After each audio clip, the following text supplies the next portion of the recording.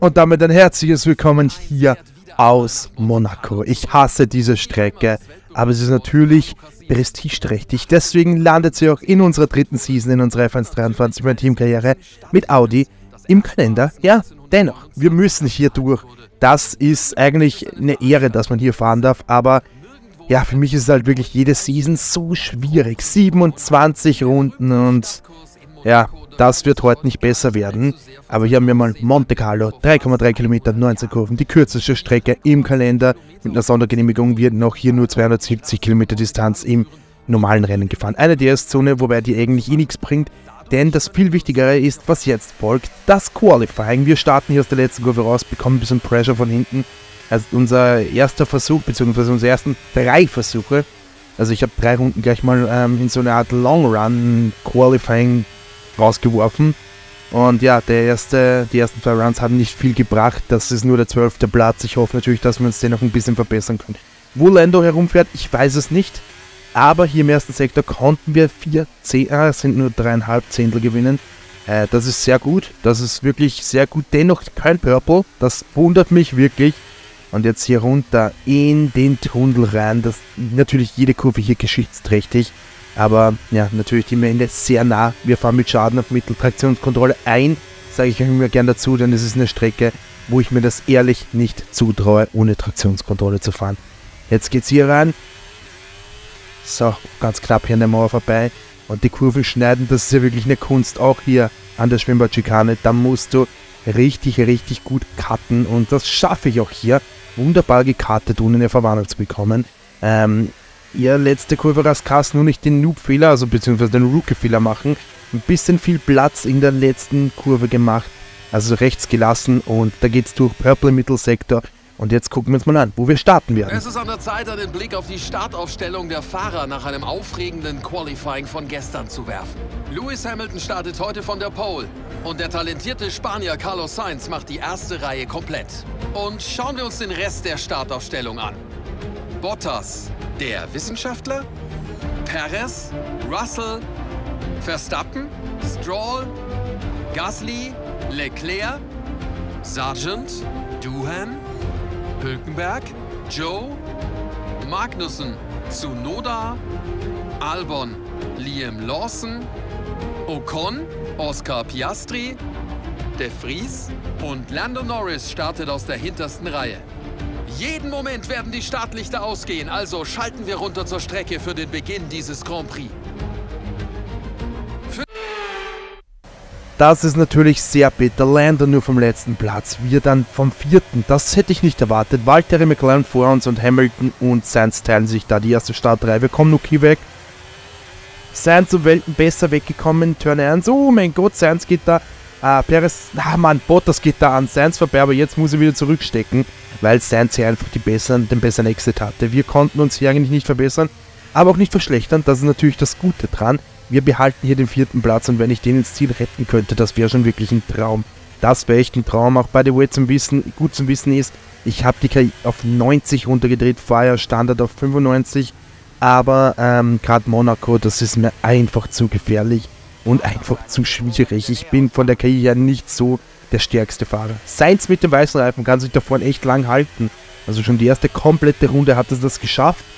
Und ich muss auch versuchen, nicht den Anschluss zu verlieren an den beiden. Es wird mir aber wahrscheinlich auch nicht gelingen, das ganze Rennen irgendwie an denen dran zu bleiben. Vielleicht können wir irgendwas mit der Boxenstrategie machen, irgendwie äh, früher in die Box reinkommen, länger fahren, hoffen, dass sie im Verkehr stecken bleiben, auf Safety Car hoffen, auf VSC. Also ich werde jetzt safe mal bis Runde 14, 15 draußen bleiben mit diesem roten Satz. Und wir werden dann mal schauen, was, wie, die anderen so aktuell sind. Und ich glaube, das ist wirklich das Rennen, wo ich 100 Mal in den Neutralgang geschalten habe. Also wirklich zu oft zu weit runter geschalten. Ich bin so oft im Neutral heute drin. Also wirklich gerade so in diesen langsamen Kurven. Ähm, äh, Ende Sektor 1, also wo man den Hügel runterfährt. Und dann auch hier natürlich an der langsamsten Stelle. Da bin ich so oft, wirklich zu oft mit dem Unterschalten. Und natürlich, umso länger das Rennen wird, umso, nee, umso mehr nehmen die Fehler zu. Jetzt gucken wir uns mal den Start an, der war echt gut. Gerade von Hamilton, der ist da Einser weggekommen. Seins nicht so extrem gut. Wie gesagt, da war ich mal Bottas kurz vorbei. Mein Start war ehrlich gesagt auch grottig. Also da war auch Paris mal knapp vorbei, hat das aber dann eigentlich gut. Da konnten wir uns wirklich auch Gott sei Dank vorne halten. Das war, ja, interessant. Jetzt sind wir in der achten Runde und wie erwartet, wir konnten einfach diese Pace nicht halten. Valtteri einfach stark. Aber er kommt selbst mit dieser Pace nicht an den Carlos vorbei. Ähm, ich bin hier einfach gefühlt eine Schnecke, obwohl ich eigentlich alles gebe und eigentlich auch nur Perez andrückt. Russell lässt ja auch ein bisschen ziehen und gerade hinter Russell ist dann wirklich eine Lücke, wo immer wieder ein ähm, paar Autos sind und dann hinter dem einen Alpha da, da ist wirklich ein Riesenloch. Und jetzt sind auch die ersten in der Box und wir werden noch ein bisschen durchhalten. Perez macht zwar Auge, aber er ähm, ist jetzt nicht so, dass ich sage so, boah, ich kann mich gar nicht irgendwie vorne halten. Also es ist nicht so. Äh, es bleiben auch immer diese 5 Sekunden circa. Natürlich bauen jetzt auch unsere Reifen ab. Und Sainz kann ordentlich davon ziehen. Podium wäre schon geil irgendwie, aber ich glaube nicht, dass es das werden wird. Ich denke eher, dass uns die Hinterleute noch sehr gefährlich werden und boah, ja, natürlich nach hinten hält. Ist immer viel Luft jetzt hier im Tunnel rein. Und ja, da sehen wir halt schon, wie nah Perez hier dran kommt. Besseres Reifenmanagement, meine Reifen kühlen nicht mehr auf der Geraden ab. Ich muss hier wirklich pushen bis zum Limit. Und Halleluja, da waren wir knapp an der Mauer dran. Und ja, 6 äh, Sekunden zu Bottas und da sind es nur die 4 Zehntel zu Perez. Auch Russell konnte jetzt abschließen. Der ist jetzt auch im Sekundenfenster und jetzt merke ich schon allmählich, die Reifen, die werden immer schlechter. Ich muss aber mindestens noch 4-5 Runden durchhalten. Also Hälfte des Rennens sollte ich schon mit den Routen schaffen. Sonst gilt, glaube ich, diese Strategie ein bisschen als verkackt, sonst muss ich auf die weißen Reifen gehen. Und das ist halt genau das, was ich nicht will. Auf diese scheiß weißen Reifen irgendwie gehen und dann noch, ja, keine Ahnung, da drauf hoffen, dass sich da das irgendwie verbessert oder so. Das funktioniert einfach nicht. Die Gelben sind halt einfach die beste Option, sind aber von der Lebensdauer her nicht viel um zum ähm, roten Reifen. Bottas und auch Sainz waren noch in der Box, auch Hamilton vorne, der ist weit davon, äh, der ist weit weg und der hat da auch schon ein Riesenloch aufgerissen. Aber auch äh, Bottas kann die Base nicht von, äh, von Sainz halten und ich wiederum nicht die von Bottas. Ja, eigentlich ist es Monaco Standard. Ich bin zwar eigentlich viel langsamer als die hinter mir, kann aber, oh, da titschen mir nicht mehr dran, kann aber durch meine, ja, durch meinen Vorteil hier, dass man kaum überholen kann, einfach hier profitieren. Jetzt sind die ersten beiden in der Box, Hamilton und Bottas sind drin. Sainz macht den Overcut, bleibt länger draußen und hofft dann dadurch ein bisschen was zu gewinnen. 13. Runde. Ja, es ist okay. Ich glaube, wir sollten jetzt auch probieren, bald reinzukommen. Ach, das Tier ist auch kaputt, der Flügel kaputt, auch kacke. Wo habe ich mir denn den Schaden geholt? Und auch das Getriebe kaputt. Das schreit förmlich nach vieles austauschen nächstes Mal. Ähm, ja, das Getriebe ist natürlich nicht gut, aber das ist ein kalkulierter Schaden, denn ich wusste, ich mache das Getriebe heute hier kaputt, weil weil sowieso, ich glaube, das war schon im 60er Bereich, 68 oder so, knapp 70. Und ich wusste, wir werden dieses Getriebe hier nicht nach diesem Rennen nicht mehr am Leben halten können. Jetzt einmal 14 bis 19 und die kommen alle schon jetzt hier in der 13. rein. Das finde ich sehr interessant, aber wir werden auch gejagt von Russell, von Verstappen, aber auch von Hamilton, denn der ist auch schon in dieser Kampfgruppe drinnen und da hat sich schon ein kleiner Zug gebildet. Da gehen wir jetzt endlich in die. Und jetzt geht's ab in die Box rein. Ich glaube, das haben wir uns auch verdient. Auch Carlos Sainz ist in der Box drin. Und wir werden nicht irgendwie hier ähm, das halten können. Mein Wunsch ist halt wirklich, dass wir vor Perez und auch vor George Russell rauskommen, obwohl wir eine komplett andere Strategie fahren. Also Russell und ich, der Boxenstopp war okay, da war meine Reaction Time ein bisschen sehr spät. Und beim Rausfahren hier passiert mir eigentlich immer der gleiche Fehler. Genau hier, wo ja die höhere Gewalt von Red Bull Racing war. Ich komme einfach hier nicht um die Kurve. Gerade mit diesen frischen Reifen, da muss ich mir die Verwarnung mitnehmen. Also wie, wie gelingt euch das?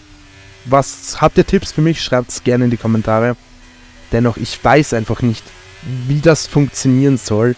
Mein Rückblick hier, Albon ist jetzt vor uns.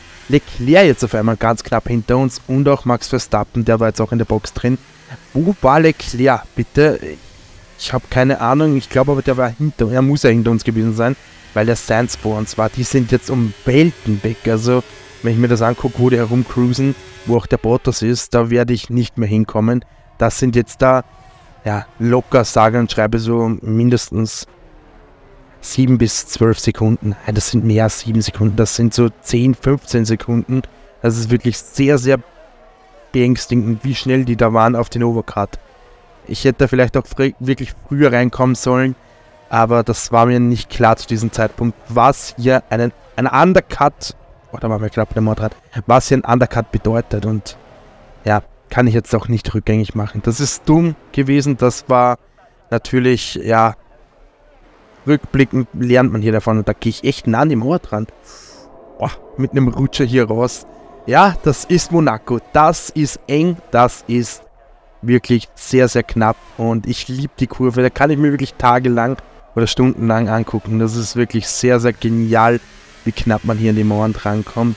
113 noch einmal ebenfalls hier und da ist schon der Red Bull hinter uns. Ja, immer eigentlich. Es ist Perez. Der ist hinter uns. Keine Ahnung, wie lange der draußen geblieben ist. Wir müssen jetzt mal abwarten, bis dann sich das Ganze mit den Leuten, die noch nicht gestoppt haben und auch mit den Leuten, die gelb drauf haben, bis sich das gelegt hat, müssen wir jetzt mal gucken, ähm, wo wir dann rauskommen. Das ist eine ganz interessante Sache jetzt. Albono hier jetzt vor uns. Aber ich denke mal, der wird jetzt eher in ein, zwei Runden die Fliege machen. Da werden wir auch nicht lang aufgehalten. Und so ist es. Er geht jetzt gleich in die Box. Das ist gut. Das ist sehr stark, dass wir den nicht überholen müssen. Jetzt auch Pierre Gasly. Sehr coole China-Strategie von den äh, Alpine-Jungs ja, vor Perez rausgekommen und da bleiben wir aktuell mal auf dem sechsten Platz, aber wenn ich da vor mir nicht, wenn ich da vor mir hingucke, Guan Yu war noch nicht in der Box. Und ich denke mal auch George Russell wird noch nicht in der Box gewesen sein, denn wenn Perez da hinter mir rauskommt, dann Guan Yu erst recht. 12 Sekunden sind es zur Waldterre, also tatsächlich haben wir da einiges am Boden verloren, obwohl es waren ja glaube ich eh so um die 9 oder so, also viel mehr haben wir da eh nicht verloren. Und jetzt geht's hier in den Tunnel rein. Ich werde auch gejagt von einem von Doppelweltmeister und von Charles Leclerc, von dem Herausforderer vom letzten Jahr vom Doppelweltmeister. Also Verstappen und Leclerc machen es mir da echt nicht einfach. Einfach macht es mir eigentlich die Strecke, weil es das Lehrt wirklich nicht erlaubt, hier richtig gute Überholmanöver zu liefern. Aber natürlich bei einem geringen Fehler und einem Flügelschaden oder so, so wie es bei uns ist. Und wenn ich dann noch ein bisschen gravierender wird, muss ich nochmal pitten und das wäre dann wirklich das Aus für mein ähm, Wunschrennen hier. Jetzt hier noch die letzte Kurve durch und hier gibt es wirklich die einzige Chance, wo mich auch äh, Charles Leclerc theoretisch angreifen könnte. Jetzt auch Russell drin, der fährt so lang mit dem gelben Satz und dann holt er sich für den zweiten Stint die weißen Reifen. Ich verstehe einfach nicht, was die KI los ist da wirklich. Wir holen uns hier die schnellste Rennrunde. Das ist wundernswert, dass ich die wirklich geschafft habe. Ich bin auch fast aus dem Sekundenfenster zu Charles Leclerc draußen gewesen. Und es sind hier wirklich, ja, eigentlich nur noch 11 Sekunden. Aber natürlich wird es mit dem Podium nichts werden. Ich bin dennoch froh, wenn ich wirklich diesen äh, vierten Platz ins Ziel bringe, wäre das schon ein Erfolgserlebnis. Wir sind hier in Runde 19. Es sind immer noch 8 Runden zu gehen mit dieser hier. Und das wird nicht einfacher. Das wird echt mit Runde über Runde über Runde immer anstrengender, sich hier zu konzentrieren. Die Verschalter nehmen natürlich zu. Ähm, die Rutscher nehmen zu und da heißt wirklich wach bleiben und konzentrieren. Nur keine unnötigen Fehler machen, nur keine dummen irgendwie Fehler machen. Ja, wir können uns jetzt Leclerc ein bisschen vom Hals halten. Das sind immer so um die 8 Zehntel bis eine Sekunde. Jetzt rutscht es auf 7 Zehntel runter. Aber wie gesagt, aktuell schaut es jetzt mal gut aus. Wir kommen da gut mit der Pace mit. Der im letzten Sektor hat uns wieder ein bisschen geroastet hier und nimmt uns hier die 3, 4 Zehntel ab. Der Exit war gut. Wir sind jetzt ja, ähm, ja in einem. Es ist wirklich. Was soll ich euch sagen? Es ist Monaco und es ist schwierig hier zu fahren. Ich bin halt einfach kein Fan von dieser Strecke. Es ist halt, wie gesagt, Monaco. Es ist so schwierig und seid mir echt nicht böse. Aber auch wenn das Rennen natürlich cool war zu fahren, werde ich vermutlich Monaco mal nächste Season eine Pause gönnen wie 2021 Corona-Pandemie, äh, werde ich hier Monaco eine Pause gönnen und wir werden eventuell mal anderen Strecken wieder ein Comeback versch verschaffen. Jetzt hier in den Tunnel durch. Aber wir können uns Leclerc vom Hals halten. Es sind wie gesagt immer diese 7 Zehntel, 7, 8 Zehntel, ja manchmal auch weniger. aber manchmal auch mehr. Und das ist halt wirklich sehr, sehr schwierig drüber.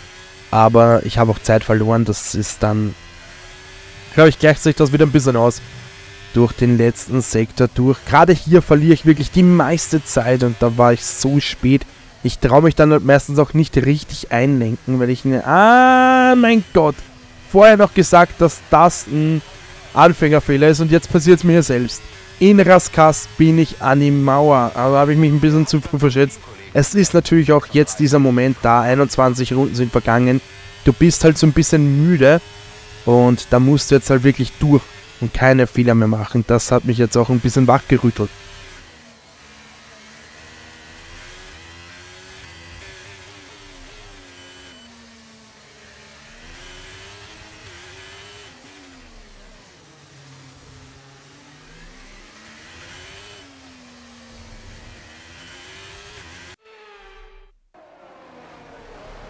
Sutherland, hier haben wir noch ein paar, das war eine Verwarnung, by the way.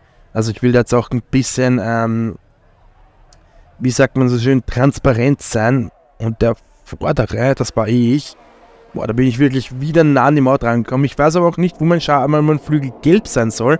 Also man merkt es beim Lenken kaum, aber was da gelb dran ist, weiß ich jetzt nicht genau. Das kann ich mir ehrlich gesagt auch nicht erklären. Ja, da kommt der ein oder andere äh, Wheelbang also, oder halt sagen wir mal Reifenknutscher mit der Mauer. Das ist aber jetzt auch nicht so gravierend. Auch hier Runde 20, da war ich so unter Bedrängnis. Und dann dieser Fehler noch in Raskas, also das war wirklich nicht gut von mir. Das war richtig, richtig knapp hier, dass ich da nicht mein Rennen komplett zerstört habe. Runde 27 und wir werden hier jetzt von der Doppel- oder der Poolpower gejagt. Es sind Max Verstappen und Sergio Perez und meine Zeiten gehen in den Keller. Das sind jetzt schon 23 Sekunden auf die Spitze. Es bedeutet natürlich auch für uns, also ich verstehe halt auch einfach nicht, wie ich so viel Zeit verlieren konnte. Ist natürlich einerseits mal die kaputten Komponenten, dann mein Skill hier generell auf der Strecke, aber auch, ich muss echt sagen, ja, das ist für mich ein bisschen unrealistisch. Wir haben ja sogar noch die ein Runden frischeren Reifen. Louis ist schon im Ziel, das war schon beim Tunnel. Und jetzt gehen wir auch allmählich ins Ziel, denn ich bin der Erste und vor allem auch der Nächste, hier reinfährt, fast mit einer halben Minute Rückstand ähm, auf den Drittplatzierten. Und dann nehmen wir den vierten Platz mit. Es sind immerhin entspannte 16 Punkte, die wir hier, ah 12 Punkte, die wir hier mitnehmen können. Ja, mehr ist nicht gegangen. Es war heute das Maximum. Max Verstappen Fahrer des Tages geworden. Ich weiß nicht, wo der gestartet ist, aber musst du heute anscheinend nicht mehr viel leisten, wenn du mit dem fünften Platz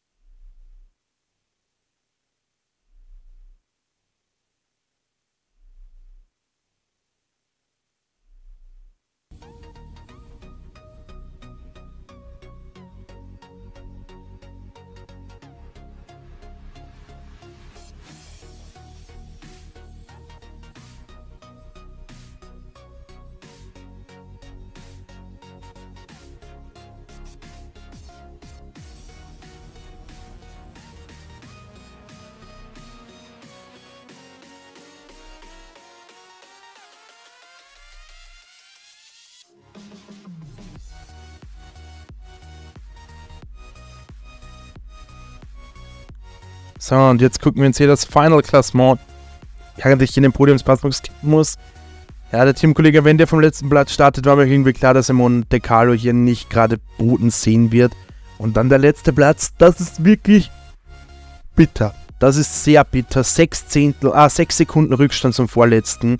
Und wir fahren hier die schnellste Rennrunde und werden Vierter. In der Weltmeisterschaft hamstern wir uns jetzt auf den dritten Platz vor. Wir konnten Leclerc hinter uns lassen, mussten aber Sainz ziehen lassen. Sprich aber, wir haben aufs große Ganze auf den Charles Leclerc zwei Punkte gut gemacht, haben aber auch sechs gegen Sainz verloren. Also ja, ist jetzt nichts gewonnen, nichts verloren. Der WM-Führende ist noch einholbar.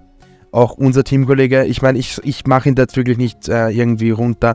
Es ist Monaco, es ist ähm, schwierig zu fahren und wir haben 40.000 Schaden. Es ist wirklich in jeder Station Flügelschaden gewesen. Das war rookiehaft von mir, aber ich kann mir auch gut vorstellen, dass es ähm, Seitenkästen oder irgendwas kaputt geworden sind, wie ich da in Laras Kasten ein bisschen um die Mauer gedriftet bin.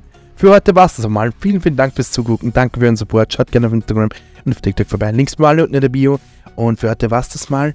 Und danke für euren Support wirklich. Macht die 13k voll auf TikTok und abonniert auch gerne hier kostenlos den Channel, falls ihr es natürlich noch nicht habt. Und wenn euch meine Videos gefallen, würde ich mich auch unbedingt über ein Däumchen oben freuen. Im ein Barcelona werden wir ganz hinten starten. Das wird auch interessant werden. Also seid auch gern dabei. Morgen oder übermorgen wieder hier. Ciao.